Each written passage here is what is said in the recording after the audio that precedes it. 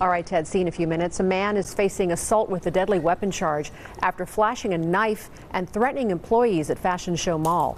Metro Police arresting 22-year-old Latrell Calhoun last week, and police say an armed bystander helped mall security disarm Calhoun before being taken into custody. Right now, he's being held on $5,000 bail.